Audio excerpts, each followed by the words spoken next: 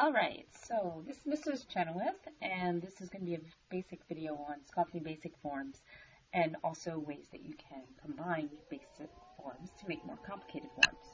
So you'll need the following um, material. You could use tape or glue. White glue is fine. Um, glue stick is also fine. Um, and obviously a pair of scissors. And you'll need some paper. Um, the other thing that I'm going to use here is my laptop and I'm going to use this template that's on my laptop um, to also trace some more complicated basic forms. Um, this is from a website called Fun Stuff to Do, um, and this is their um, support follows pyramid shape. So anyway, let's go ahead and get started. So a lot of basic forms are geometric forms such as the cylinder, the cone, um, cube, which we've already studied, the sphere, um, which is really difficult to do on paper. You have to do some kind of alternate um, to making that, unless you want to just ball up a piece of paper in a, in a circular form. Um, and pyramid. And there's lots more. There's lots, a lot more, like dodecahedrons and um, all kinds of things. So anyway, basic forms, and you can, they can be closed forms or open forms. Um, doesn't matter to me. Oh, the other thing I would suggest you have as well is a ruler I'm just realizing I don't have in front of me. Um, so I'm going to fold here just to get some nice straight lines. So your forms that you create do not have to be that big either. All right, so I'm going to be sculpting kind of quickly, um, and I just want you to get a feel of how to make these basic forms. All right, so first one really is just a cylinder. Super simple. All right, just take it, roll it around like this. Um, and you can see I've got um, a cylinder shape. Close it on up. I'm just going to go ahead and put glue on one side. Alrighty. And I'm just going to roll it around and glue it. Um, I think that glue is way nicer than using tape. The tape just looks ugly. So now I've got pretty much a nice, simple, basic form. Looks like I've got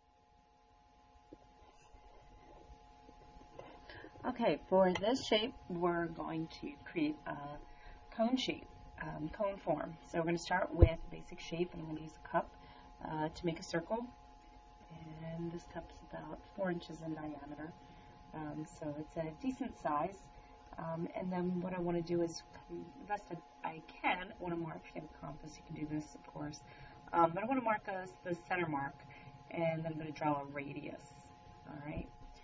So once I have that drawn, then I'm going to go ahead and cut that out um, like this. And here's my radius. And I'm also going to cut the radius. And very simple technique is to just then take it and sort of wrap it in on itself. And that will wrap around and under like this. And then I've got a really simple cone shape. Um, just take a little bit of glue and just put some glue on the inside here. And that will go around on the outside. This direction. And that's what's going to hold my cone together. And of looks like a little cap or maybe a little uh, sonar or radar or like a disc. Alright, so it could be lots of things. Um, I could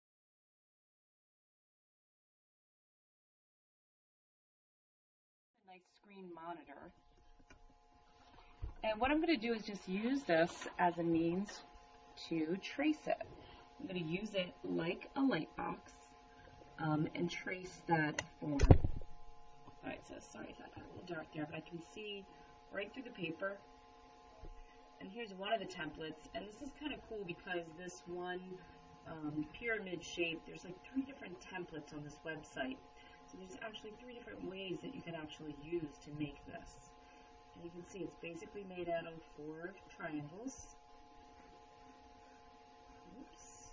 Um, and then here is where they have the tabs that will help you get it glued together.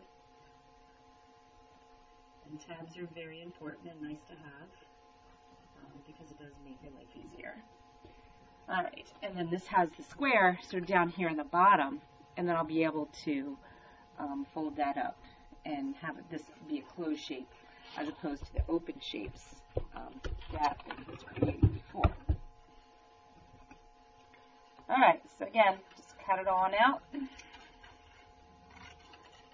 Um, don't have to be that precise with the tabs really. Um, what you do want to do is be precise with your folds that you create.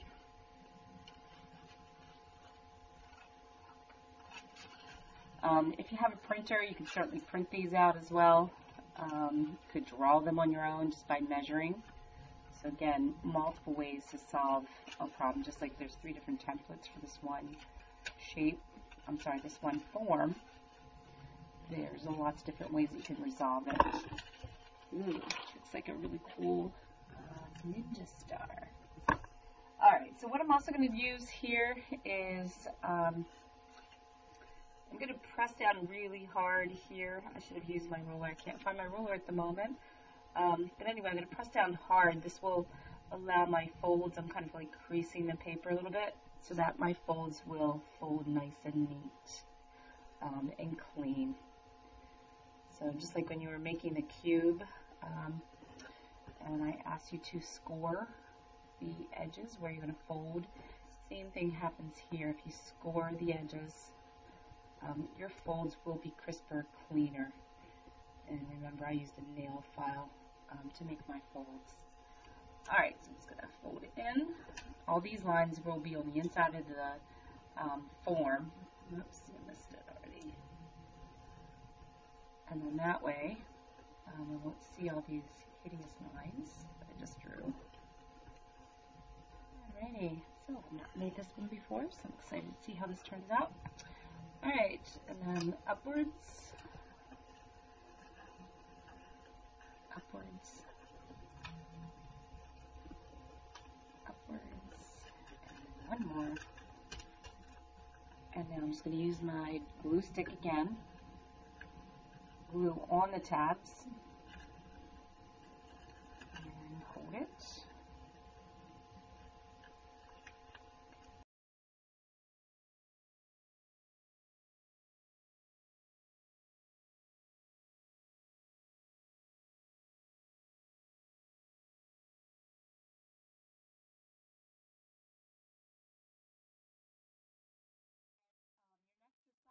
is, is to figure out how can I put some of these forms, at least three of them, together in order to make some new kind of form. So what you will do is the following. You'll put them together. You'll say, hmm, I like the way this looks, or no, I don't like the way this looks. Um, the cylinder is kind of cool because it's like a column, and you can use it to kind of like stack things. Ooh, and that's kind of cool. I could put something there.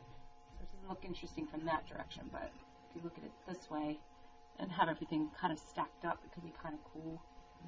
Alright, so that's your next phase then, is to figure out how can I attach some of these things together. So I need more glue on my guy here. Right, but you just got to work and problem solve.